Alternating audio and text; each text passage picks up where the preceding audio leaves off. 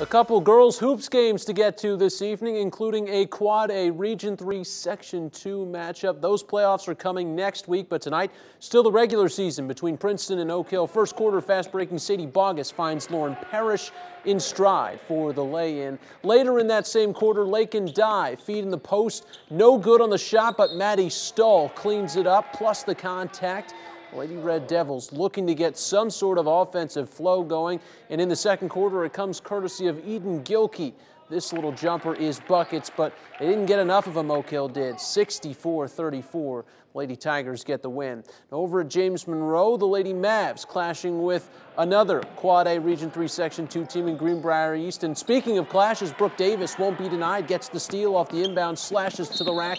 Tough foul and one for the Spartan lead. Some smooth shooting, though. Put James Monroe right back in it. Akayla Hughes takes the Mavs from down two to up one with a sweet three ball there. End of the first now, five seconds to go. Caden Stewart, a little runner, is nothing but net.